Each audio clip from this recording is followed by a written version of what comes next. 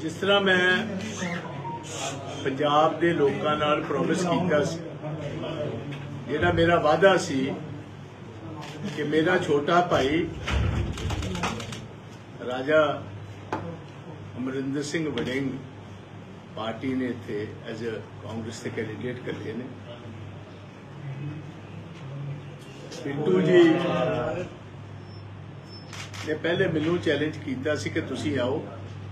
ਪਤਾ ਹੁੰਦੇ ਇਹਨਾਂ ਨੂੰ ਕਿ ਪ੍ਰਤਾਪ ਸਿੰਘ ਬਾਜਵਾ ਨੇ ਸਾਰੇ ਸੂਬੇ ਨੂੰ ਇਸ ਗੱਲ ਦਾ ਯਕੀਨ ਦਵਾਇਆ ਕਿ ਜ਼ਿੰਦਗੀ ਦੇ ਅਖੀਰਲੇ ਸਾਲ ਮੈਂ ਸੂਬੇ ਦੇ ਭਲੇ ਵਾਸਤੇ ਤੇ ਸੂਬੇ ਦੀ ਸੇਵਾ ਕਰਨ ਵਾਸਤੇ। ਮੈਂ ਆਲਰੇਡੀ ਇਹ ਆਪਣਾ ਪੋਲੀਟੀਕਲ ਆਪਣੀ ਜਿਹੜੀ ਗੱਲ ਸੀ, ਇਹ ਕਲੀਅਰ ਕਰ ਦਿੱਤੀ ਸੀ ਜਦੋਂ ਮੈਂ ਤਕਰੀਬਨ ਅੱਜ ਤੋਂ 2 ਸਾਲ ਪਹਿਲੇ 2022 ਦੇ ਵਿੱਚ, ਮਾਰਚ ਦੇ ਵਿੱਚ ਮੈਂ ਰਿਜ਼ਾਈਨ ਦਿੱਤਾ ਰਾਜ ਸਭਾ ਤੋਂ, ਮੇਰੀ ਅਜੇ ਟਰਮ ਦੇ ਵਿੱਚ ਅਜੇ 2-3 ਮਹੀਨੇ ਰਹਿੰਦੇ ਸੀ ਖਤਮ ਹੋਣ ਉਸ ਟਾਈਮ ਮੇਰੀ ਕਮਿਟਮੈਂਟ ਸੀ ਆਪਣੇ ਲੋਕਾਂ ਦੇ ਨਾਲ ਕਿ ਜ਼ਿੰਦਗੀ ਦਾ ਲਾਸਟ ਫੇਜ਼ ਜਿਹੜਾ ਮੈਂ ਆਪਣੇ ਸੂਬੇ ਦੀ ਤੇ ਆਪਣੇ ਏਰੀਆ ਦੀ ਸੇਵਾ ਵਾਸਤੇ ਪੰਜਾਬ ਨੂੰ ਸਮਰਪਿਤ ਕਰਾਂ। ਐਤਕੀ ਇਹਨਾਂ ਨੇ ਮੈਨੂੰ ਚੈਲੰਜ ਕੀਤਾ ਕਿ ਤੁਸੀਂ ਲੜੋ ਆ ਕੇ। ਤੇ ਤੁਹਾਨੂੰ ਪਤਾ ਹੈਗਾ ਟ੍ਰੈਡੀਸ਼ਨਲੀ ਮੈਂ ਇਹਨਾਂ ਨੂੰ ਇੱਕੋ ਗੱਲ ਕਹੀ ਸੀ, ਬਿੱਟੂ ਜੀ, ਤੁਹਾਨੂੰ ਹੀ ਪਤਾ ਹੈ। ਕਿ ਪ੍ਰਤਾਪ ਸਿੰਘ ਬਾਜਵਾ ਨੇ ਪਾਰਲੀਮੈਂਟ ਦੀ ਇਲੈਕਸ਼ਨ ਨਹੀਂ ਲੜਨੀ। ਜੇ ਲੜਨੀ ਹੁੰਦੀ ਤੇ ਮੈਂ ਤੁਹਾਡਾ ਰਾਂਝਾ ਰਾਜੀ ਕਰ ਦੇਣਾ।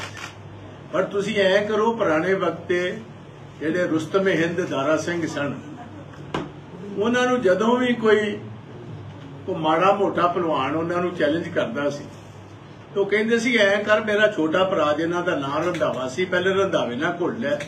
ਜੇ ਉਹਨੂੰ ਢਾਲੇਗਾ, ਫੇਰ ਮੇਰੇ ਨਾਲ ਹੀ। ਤੇ ਮੈਂ ਉਦੋਂ ਵਾਅਦਾ ਕੀਤਾ ਸੀ, ਕੋਈ ਚੰਗਾ ਕਾਂਗਰਸ ਦਾ ਕੈਂਡੀਡੇਟ ਅਸੀਂ ਲੈ ਕੇ ਆਵਾਂਗੇ। ਜਿਹੜਾ ਬਿੱਟੂ ਸਾਹਿਬ ਦੀ ਚੰਗੀ ਤਰ੍ਹਾਂ ਇਥੋਂ ਸਿਆਸੀ ਤੌਰ ਤੇ ਆ ਕੇ ਇੱਥੇ ਸੇਵਾ ਕਰ ਸਕੇ ਮੈਂ ਮਸ਼ਕੂਰ ਹਾਂ, ਰਾਜਾ ਵੜਿੰਗ ਜੀ ਆਏ ਨੇ।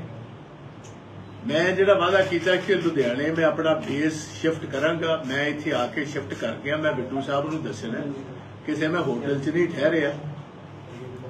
ਮੈਂ ਇੱਥੇ ਕਿਸੇ ਆਪਣੇ ਵਾਕਫ ਦੋਸਤ ਦੇ ਘਰ ਦੇ ਵਿੱਚ ਆ ਕੇ ਹੁਣ ਡੇਰਾ ਲਾਇਆ।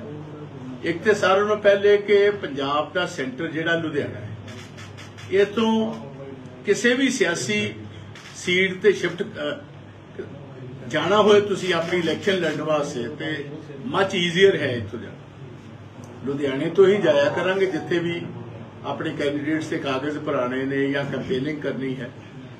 ਸ਼ਾਮ ਨੂੰ ਫਿਰ ਡੇਰਾ ਇੱਥੇ ਹੀ ਹੋਇਆ ਕਰੇਗਾ। ਅੱਜ 6:30 ਵਜੇ। ਸੁਰਿੰਦਰ ਡਾਬਰ ਜੀ ਦੇ ਏਰੀਏ ਦੇ ਵਿੱਚ ਇੱਕ ਫੰਕਸ਼ਨ ਹੋ ਰਿਹਾ ਜਿੱਥੇ ਵਿੱਚ ਉਹਨਾਂ ਨੇ ਮੈਨੂੰ ਵੀ ਸੱਦਾ ਦਿੱਤਾ ਤੇ ਵੜਿੰਗ ਸਾਹਿਬ ਨੂੰ ਵੀ ਦਿੱਤਾ। ਸੋ ਅਸੀਂ ਪਹਿਲੀ ਆਪਣੀ ਜੁਆਇੰਟ ਮੀਟਿੰਗ ਜਿਹੜੀ ਹੈ, ਰਾਜਾ ਵੜਿੰਗ ਦੇ ਹੱਕ ਦੇ ਵਿੱਚ, ਲੁਧਿਆਣੇ ਦੇ ਵਿੱਚ ਅੱਜ 6:30 ਵਜੇ ਉੱਥੇ ਜਾ ਕੇ ਸਾਰੇ ਆਪਣੇ ਸਾਥੀਆਂ ਨੂੰ ਤੇ ਲੁਧਿਆਣੇ ਦੇ ਵਿਸ਼ੇਸ਼ ਤੌਰ ਤੇ ਜਿਹੜੇ ਵੋਟਰਸ ਨੇ, ਉਹਨਾਂ ਨੂੰ ਆਪਣੀ ਅਪੀਲ ਜਿਹੜੀ ਹੈ ਉਹਨਾਂ ਦੇ ਸਾਹਮਣੇ ਰੱਖਾਂਗੇ। ਸੋ ਇੰਨਾ ਹੀ ਅੱਜ ਸਾਰੇ ਜਿਹੜੇ ਜਿਹੜੇ ਪ੍ਰੈਸ ਦੇ ਸਾਥੀ ਨੇ, ਮੈਂ ਉਹਨਾਂ ਨੂੰ ਦੱਸਣ ਵਾਸਤੇ ਕਿਹਾ ਤੁਹਾਡੇ ਕੋਲ ਐਡਰੈਸ ਵੀ ਆ ਗਿਆ। ਡੇਰਾ ਵੀ ਮੇਰਾ ਪਰਮਨੈਂਟ ਤੌਰ ਤੇ ਹੁਣ ਇੱਥੇ ਹੋਏਗਾ। ਜੇ ਮੈਨੂੰ ਦਿਨ ਦੇ ਵਕਤ ਕਿਤੇ ਵੀ ਕਿਸੇ ਪਾਰਲੀਮੈਂਟ ਸੀਟ ਤੇ ਜਾਣਾ ਹੋਏਗਾ, ਤਾਂ ਸ਼ਾਮ ਨੂੰ ਇੱਥੇ ਹੀ ਆ ਜਾਇਆ ਕਰਾਂਗੇ। ਤੇ ਡਟ ਕੇ ਮੈਨੂੰ ਪੂਰਨ ਆਸ ਹੈ ਕਿ ਲੁਧਿਆਣਾ ਜਿਹੜਾ ਹਮੇਸ਼ਾ ਕਾਂਗਰਸ ਦਾ ਗੜ ਰਿਹਾ ਐਤਕੀ ਵੀ ਉਸ ਵਿਅਕਤੀ ਜਿਹਨੇ ਆਪਣੀ ਮਾਂ ਦੀ ਪਿੱਠ ਛੁਰਾ ਮਾਰਿਆ। ਐਂਡ ਪੰਜਾਬ ਦੀ ਇਹ ਹਮੇਸ਼ਾ ਰਵਾਇਤ ਰਹੀ ਹੈ ਕਿ ਮਰਦਾਂ ਨਾਲ ਖਲੋਣ ਵਾਲੀ ਇਹ ਧਰਤੀ ਹੈ। ਸੂਰਬੀਰਾਂ ਨਾਲ ਖਲੋਣ ਵਾਲੀ ਇਹ ਧਰਤੀ ਹੈ।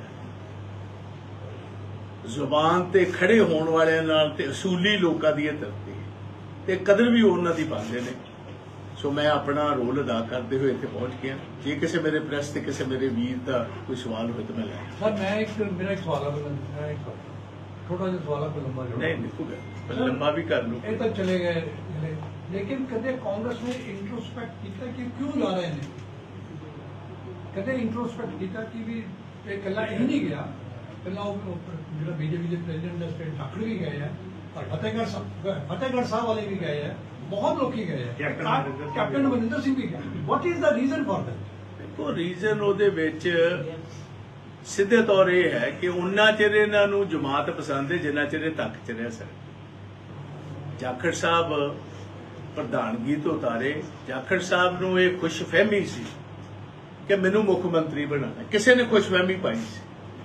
ਨਾ ਕਿਤੇ ਕੋਈ VOTING ਹੋਈ ਸੀ ਨਾ ਕੋਈ CLP ਦੀ ਮੀਟਿੰਗ ਹੋਈ ਸੀ ਨਾ ਇਹਨਾਂ ਨੂੰ ਮੈਜੋਰਿਟੀ ਉਹਦੇ ਵਿੱਚ ਮਿਲੀ ਸੀ। ਹੇਅਰ ਸੇ ਤੇ ਇਹਨਾਂ ਨੇ ਫੈਸਲਾ ਕਰ ਲਿਆ, ਇਹਨਾਂ ਲੋਕਾਂ ਨੇ ਕਹਿਤਾ ਸ਼ਾਇਦ ਇੰਨਿਆਂ ਵਿੱਚੋਂ ਇੰਨੇ ਲੋਕ ਤੁਹਾਡੇ ਨਾਲ ਸਨ, ਉਸ ਗੁੱਸੇ ਵਿੱਚ ਇਹ ਚਲੇ ਗਏ।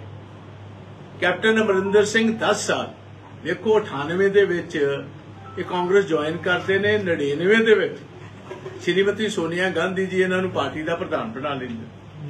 ਜਿਹੜਾ ਆਦਮੀ 1984 ਛੱਡ ਕੇ ਗਿਆ 14 ਸਾਲ ਬਾਅਦ ਆਉਂਦਾ। ਹੈ। ਸਾਲ ਬਾਅਦ ਉਹ ਪਹਿਲੀ ਪਾਰਲੀਮੈਂਟ ਦੀ ਪਹਿਲੇ ਇਲੈਕਸ਼ਨ 98 ਚ ਲੜਦੇ ਨੇ, ਪ੍ਰੇਮ ਸਿੰਘ ਚੰਦੂ ਬਾਜਰਾ ਜੀ ਕੋ ਹਾਰਦੇ ਨੇ। In spite of that defeat she was so magnanimous ਕਿ ਉਹਨਾਂ ਨੇ ਕੈਪਟਨ ਅਮਰਿੰਦਰ ਸਿੰਘ ਨੂੰ ਮੌਕਾ ਦਿੱਤਾ। ਮੌਕਾ ਦਿੱਤਾ, ਦੋ ਵਾਰ ਉਹਨਾਂ ਨੂੰ ਮੁੱਖ ਮੰਤਰੀ ਬਣਾਇਆ। ਤਿੰਨ ਵਾਰ ਉਹ ਪੀਸੀਸੀ ਦੇ ਪ੍ਰਧਾਨ ਬਣੇ। ਜਦੋਂ ਅਖੀਰ ਪਾਰਟੀ ਹੀ ਮੋਦੀ ਸਾਰਿਆਂ ਨੂੰ ਲੀਡਰਸ਼ਿਪ ਦਿੰਦੀ। ਹੁਣ ਇਹਨਾਂ 'ਚ ਕਈਆਂ 'ਚ ਮੈਂ ਸੁਣਿਆ, ਕੋਈ ਕਹਿੰਦਾ ਮੇਰੀ ਟਿਕਟ ਕੱਟ ਲਈ। ਇਹ ਕਿਸੇ ਦੀ ਕੋਈ ਰਜਿਸਟਰੀ ਕਰਾਈ ਜਾਇਦਾਦ ਨਹੀਂ। ਟਿਕਟਾਂ ਪਾਰਟੀਆਂ ਦੀਆਂ ਪਾਰਟੀ ਲੀਡਰਸ਼ਿਪ ਹੁਣ ਮੌਜੂਦਾ, ਜਿਹੜੇ 303 ਐਮਪੀ ਸਨ, ਭਾਰਤੀ ਜਨਤਾ ਪਾਰਟੀ ਦੇ ਨੇ। 100 ਸਿਟਿੰਗ ਐਮਪੀ ਉਹਨਾਂ ਨੇ ਕੱਢਤਾ। ਦਿੱਲੀ ਦੇ ਸੱਤਾਂ ਵਿੱਚੋਂ 6 ਕੱਢਤੇ। ਹੁਣ ਇੱਥੇ ਤੇ ਕਿਸੇ ਨੂੰ ਕਟਿਆ ਵੀ ਨਹੀਂ ਸੀ ਜੀ। ਹੁਣ ਇਹਦੇ ਵਿੱਚ ਇੱਕੋ ਪ੍ਰੋਬਲਮ ਹੈ ਅਨਫੋਰਚੂਨਟਲੀ ਕਿ ਕਾਂਗਰਸ ਨਾ ਦਿੱਲੀ ਦੀ ਸੱਤਾ ਵਿੱਚ ਨਾ ਪੰਜਾਬ ਦੀ। ਜਿੰਨੀਆਂ ਨਵੀਆਂ ਜਮਾਤਾਂ ਆਈਆਂ ਨੇ, ਕਿਸੇ ਨਾ ਕਿਸੇ ਕਾਰਨ, ਜਿਹਦੇ ਵਿੱਚ ਵੱਡਾ ਕਾਰਨ ਤੇ ਜਿਹੜਾ ਸਾਨੂੰ ਛੱਡ ਕੇ ਗਏ ਨੇ, ਉਹ ਨੇ ਜਿਨ੍ਹਾਂ ਦੇ ਵਿਜੀਲੈਂਸ ਦੇ ਕੇਸਿਸ ਵਿਜੀਲੈਂਸ ਦੇ ਕੇਸਿਸ ਨੇ, ਬਾਹਾਂ ਮਰੋੜ ਕੇ ਤੇ ਜੇਬਾਂ ਭਰ ਕੇ ਦੋ ਕੰਮ ਇਹਨਾਂ ਨਾਲ ਹੀ ਕੀਤੇ। ਸਟਿਕ ਐਂਡ ਕੈਰਟ ਪਾਲਿਸੀ ਜਿਹੜੀ ਅੰਗਰੇਜ਼ੀ ਦੀ ਕਹੀ ਜਾਂਦੀ ਹੈ ਸਟਿਕ ਇੱਕ ਹੱਥ ਸੋਟੀ ਤੇ ਦੂਜੇ 'ਚ ਗਾਜਰ। ਵਿਜੀਲੈਂਸ ਦੀ ਸੋਟੀ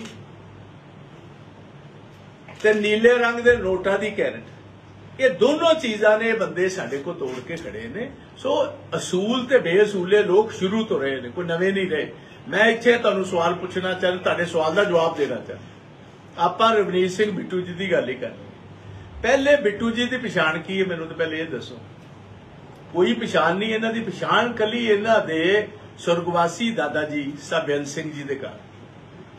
ਪਾਰਟੀ ਨੇ ਸਭਿਆਨ ਸਿੰਘ ਜੀ ਦੀ ਮੌਤ ਤੋਂ ਬਾਅਦ ਉਹਨਾਂ ਦੀ ਧਰਮ ਪਤਨੀ ਸਰਦਾਰਨੀ ਜਸਵੰਤ ਕੌਰ ਜੀ ਨੂੰ ਲੁਧਿਆਣੇ ਤੋਂ ਪਾਰਲੀਮੈਂਟ ਦੀ ਟਿਕਟ ਦਿੱਤੀ। ਉਸ ਤੋਂ ਬਾਅਦ ਬਿੱਟੂ ਜੀ ਦੇ ਤਾਇਆ ਜੀ ਨੂੰ ਲੰਬਾ ਅਰਸਾ ਕੈਬਨਿਟ ਦੇ ਵਿੱਚ ਮੰਤਰੀ ਰੱਖਿਆ। ਫਿਰ ਬਿੱਟੂ ਜੀ ਦੀ ਭੂਆ ਜੀ ਨੂੰ, ਗੁਰਕਮਲ ਜੀ ਨੂੰ ਮਿਨਿਸਟਰ ਰੱਖਿਆ। ਫਿਰ ਇਹਨਾਂ ਦੇ ਤਾਏ ਦੇ ਭਾਈ ਨੂੰ ਸਾ ਗੁਰਕੀਰਤ ਸਿੰਘ ਨੂੰ ਮਿਨਿਸਟਰ ਬਣਾਇਆ। ਬਿੱਟੂ ਜੀ ਨੂੰ ਜਦੋਂ ਪਤਾ ਸੀ, ਜੋ ਇਹਨਾਂ ਨੇ ਲੁਧਿਆਣੇ 'ਚ ਦੋ ਵਾਰ ਕੀਤਾ, ਪਹਿਲੀ ਵਾਰ 'ਚ ਹੀ ਅਨੰਦਪੁਰ ਸਾਹਿਬ ਦੇ ਲੋਕਾਂ ਨੂੰ ਪਤਾ ਲੱਗ ਗਿਆ ਸੀ ਕਿ ਨਾ ਤੇ ਕਿਸੇ ਦਾ ਟੈਲੀਫੋਨ ਚੁੱਕੇ। ਇਹ ਮੌਕੇ ਤੇ ਆ ਕੇ ਗੋਡਿਆਂ ਨੂੰ, ਗਿੱਟਿਆਂ ਨੂੰ ਹੱਥ ਲਾਉਂਦਾ ਤੇ ਡੰਡੌਤ ਵੀ ਕਰਦਾ। ਕੱਲ ਮੈਂ ਇਹਨੂੰ ਲੰਮੇ ਪੈ ਡੰਡੌਤ ਕਰਤੇ ਵੇਖਿਆ ਡੰਡੌਤ ਤੇ 5 ਮਿੰਟ ਹੀ ਕਰਦਾ ਤੇ ਉਦੋਂ ਹੀ ਪਤਾ ਲੱਗਦਾ ਜੋ ਡੰਡੌਤ ਕਰਦੇ, ਫਿਰ ਅਗਲੇ ਦੇ ਜਿੱਦਾਂ ਦੇ ਪੈਰਾਂ ਤੇ ਚਰਨਾਂ ਤੇ ਸਿਰ ਰੱਖਦਾ, ਉਸੇ ਪੈਰ ਨੂੰ ਹੀ ਹੱਥ ਨਾਲ ਖਿੱਚਦਾ। ਅਜੇ ਤੇ ਉਹਨਾਂ ਨੂੰ ਅਜੇ ਹੱਥ ਨਹੀਂ ਲੱਗੇ ਉਹਨਾਂ ਦੇ। ਜਦੋਂ ਗਾਂ ਲੱਗਣਗੇ ਇਲੈਕਸ਼ਨ ਬਾਅਦ ਫੇਰ ਪਤਾ ਲੱਗੇਗਾ। ਉਸ ਤੋਂ ਬਾਅਦ ਇਹਨਾਂ ਨੂੰ ਲੁਧਿਆਣੇ ਲਿਆਂਦਾ ਗਿਆ। ਇਹਨਾਂ ਨੂੰ ਸੇਫ ਐਗਜ਼ਿਟ ਦਿੱਤਾ ਗਿਆ। ਕਿ ਆਨੰਦਪੁਰੋਂ ਜਿੱਤਨੇ ਨਹੀਂ, ਲੁਧਿਆਣੇੋਂ ਜਿਤਾਓ। ਐਤਕੀ ਬਿੱਟੂ ਜੀ ਨੂੰ ਇਹ ਪਤਾ ਸੀ ਕਿ ਮੈਂ ਕਾਰਨਾਮੇ ਕੀ ਕੀਤੇ ਨੇ, ਮੈਂ ਜਿੱਤ ਨਹੀਂ ਪਾਣਾ he was already in touch with the BJP for the last 6 7 8 months ਹੁਣ ਇੱਥੇ ਵੱਡੀ ਗੱਲ ਇਹ ਹੈ। ਹੁਣ ਬਿੱਟੂ ਜੀ ਨੇ ਚੂਜ਼ ਕੀਤਾ ਇੱਕ ਹੁੰਦਾ ਪਾਥ, ਜਿਹੜਾ ਸਚਾਈ ਦਾ ਪਾਤ ਹੁੰਦਾ ਇੱਕ ਆਈਡੀਓਲੋਜੀ ਦਾ ਪਾਥ ਹੁੰਦਾ ਇਹਨਾਂ ਨੇ ਪਾਥ ਚੂਜ਼ ਕੀਤਾ ਜਿਹਦੇ ਵਿੱਚ ਸਰਕਾਰੀ ਕੋਠੀਆਂ, Z+ ਸਿਕਿਉਰਿਟੀ ਗਵਰਨਮੈਂਟ ਦੀਆਂ ਅਮੈਨਿਟੀਜ਼ ਜਿਹੜੀਆਂ, ਉਹਨਾਂ ਨੂੰ ਇਹ ਕੋਡ ਰੱਖ ਸਕਣ, ਰੱਖਣ ਦਾ ਇੱਕੋ ਢੰਗ ਸੀ ਕਿ ਭਾਰਤੀ ਜਨਤਾ ਪਾਰਟੀ ਨੇ ਆਪਣਾ ਤੋਲਕ ਰੱਖਿਆ। ਫਿਰ ਇਹਨਾਂ ਦੇ ਛੋਟੇ ਭਾਈ, ਜਿਹੜੇ ਹੁਣ ਮੈਂ ਇਸ ਤੇ ਬਹੁਤੀ ਡਿਟੇਲ ਚ ਨਹੀਂ ਜਾਣਾ ਬਟ ਉਹਨਾਂ ਨੂੰ ਵੀ ਡੀਐਸਪੀ ਭਰਤੀ ਕੀਤਾ।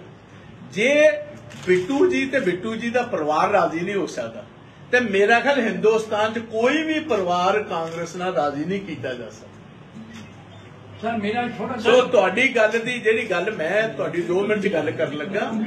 ਇਸ ਟਾਈਮ ਇਹ ਜਿਹੜੀ ਨਵੀਂ ਬਿਮਾਰੀ ਪਈ ਹੈ ਇੱਕ ਮਿੰਟ ਜਿਹੜੀ ਇਹ ਨਵੀਂ ਬਿਮਾਰੀ ਪਈ ਹੈ ਕਿਸੇ ਟਾਈਮ ਇਹ ਪੋਲਟਰੀ ਫਾਰਮ ਰਨ ਕਰਨ ਵਾਲਿਆਂ ਨੂੰ ਪਤਾ ਹੈ ਕਿ ਕਈ ਵਾਰ ਕੁੱਕੜੀਆਂ ਨੂੰ ਰਾਤ ਫੀਡ ਪਾ ਕੇ ਜਾਈਦੀ ਸੀ। ਤੇ ਸਵੇਰੇ ਆਂਦਿਆਂ ਨੂੰ ਸਾਰਿਆਂ ਨੇ ਧੌਣਾ ਛੁੱਟੀਆਂ ਹੁੰਦੀਆਂ ਸੀ। ਇਹ ਜਿਹੜੀ ਨਵੀਂ ਬਿਮਾਰੀ ਪਈ ਹੈ, ਸਿਆਸਤਦਾਨਾਂ ਨੂੰ, ਹੁਣ ਤੁਹਾਡੇ ਨਾਲ ਬੈਠੇ ਹੁੰਦੇ ਸਵੇਰੇ ਇਹਨਾਂ ਨੇ ਕਿਹਦੇ ਨਾਲ ਜਾ ਕੇ ਫੋਟੋ ਖਿਚਾ ਲੈਣੀ, ਇਹ ਤੇ ਮੇਰਾ ਖਿਆਲ ਉਹਨਾਂ ਨੂੰ ਨਹੀਂ ਪਤਾ। ਮੈਂ ਤੁਹਾਨੂੰ ਇਹਦਾ ਇੱਕ ਹਾਸੋ ਹੀ ਨਹੀਂ ਗੱਲ ਦੱਸਣਾ ਚਾਹੁੰਦਾ। ਕੱਲ ਪਰਸੋਂ ਸੁਸ਼ੀਲ ਰਿੰਕੂ ਜੀ, ਜਿਹੜੇ ਦੋਹਾਂ ਸਾਲਾਂ ਤਿੰਨ ਪਾਰਟੀਆਂ ਬਦਲ ਗਏ। ਉਹਨਾਂ ਦੀ ਰਿੰਕੂ ਜੀ ਦੇ ਨਾਲ ਉਹਨਾਂ ਦੀ ਧਰਮ ਪਤਨੀ ਖੜੀ ਸੀ। ਉਹਨਾਂ ਕੋਲ ਟੀਵੀ ਵਾਲਿਆਂ ਨੇ ਸੰਦੇਸ਼ ਮੰਗਿਆ ਵੋਟਾਂ ਤੇ। ਤੇ ਸੰਦੇਸ਼ ਕਰਦੇ ਕਰਦੇ ਉਹਨਾਂ ਨੇ ਵੋਟਾਂ ਆਪ ਦੀਆਂ ਮੰਗ ਲਈਆਂ। ਉਹਨਾਂ ਨੇ ਫਿਰ ਹੁੱਜ ਮਾਰ ਕੇ ਰਿੰਕੂ ਜੀ ਨੇ ਦੱਸਿਆ ਕਿ ਆਪਾਂ ਹੁਣ ਆਪ ਚ ਨਹੀਂ ਰਹੇ, ਆਪਾਂ ਹੁਣ ਫੁੱਲ ਵੱਲ ਚਲੇ ਗਏ। ਇਹ ਆ ਦੋ ਦਿਨ ਦੀ ਗੱਲ। ਇਸ ਤੋਂ ਪਹਿਲੇ 4 ਦਿਨ ਪਹਿਲੇ ਪਟਿਆਲੇ ਦੀ ਇੱਕ ਸਟੇਜ ਤੇ। ਇੱਕ ਵਰਕਰ ਭਾਰਤੀ ਜਨਤਾ ਪਾਰਟੀ ਦਾ ਜਿਹੜਾ ਪ੍ਰਨੀਤ ਜੀ ਦੇ ਨਾਲ ਕਾਂਗਰਸ ਚ ਬੀਜੇਪੀ 'ਚ ਗਿਆ ਸੀ, ਝੰਡਾ ਫੜਾਇਆ ਸੀ ਬੀਜੇਪੀ ਦਾ। ਲੜਾ ਰਿਹਾ ਸੀ ਸਟੇਜ ਤੋਂ ਖੱਬੇ ਸੱਜੇ ਤੇ ਨਾਰਾ ਲਾ ਰਿਹਾ ਸੀ। ਕਾਂਗਰਸ ਜਿੰਦਾਬਾਦ ਪੰਜੇ ਨੂੰ ਵੋਟਾਂ ਪਾਓ, ਉਹਨੂੰ ਖਿੱਚ ਕੇ ਵਿਚਾਰੇ ਨੂੰ ਉੱਥੋਂ ਲਾਇਆ। ਪਰਨੀਤ ਕੌਰ ਦੀ ਸਟੇਜ ਉੱਤੇ। ਸੋ ਇਸ ਕਿਸਮ ਦੇ ਜਿਹੜੇ ਲੋਕ ਹੈ ਬੇਸੀਲ ਅਸੂਲੀ ਸਿਆਸਤ ਜਿਹੜੀ ਇਹ ਇਹਦੇ ਵਿੱਚ ਤੇ ਹੁਣ ਆਫ ਲੇਟ ਦੋਨੋਂ ਚੀਜ਼ਾਂ ਕੰਮ ਕਰ ਰਹੀਆਂ। ਸੈਂਟਰ ਦਾ ਪੈਸਾ ਡੀਪ ਪਾਕਟਸ ਨੇ। ਬੀਜੇਪੀ ਦੀਆਂ BJP is trying the similar kind of tactic same AAP ਕਰ ਰਹੀ। ਮੇਰਾ ਸਪਲੀਮੈਂਟ ਨਮਸਕਾਰ। ਦੁਨੀਆ ਦੀ ਬਿਹਤਰੀਨ cath lab White medical college and hospital Bungal ਚ ਐਸਟੈਬਲਿਸ਼ ਹੋ ਗਈ ਹੈ। ਸਿੱਧਾ ਵਾਈਟ ਮੈਡੀਕਲ ਕਾਲਜ ਆਓ ਇਲਾਜ ਕਰਾਓ। ਸਲਾਰੀਆ ਤੁਹਾਡਾ ਭਰਾ ਤੁਹਾਡੇ ਦੁੱਖ ਸੁੱਖ ਚ ਹਾਜ਼ਰ ਹੈ। ਧੰਨਵਾਦ।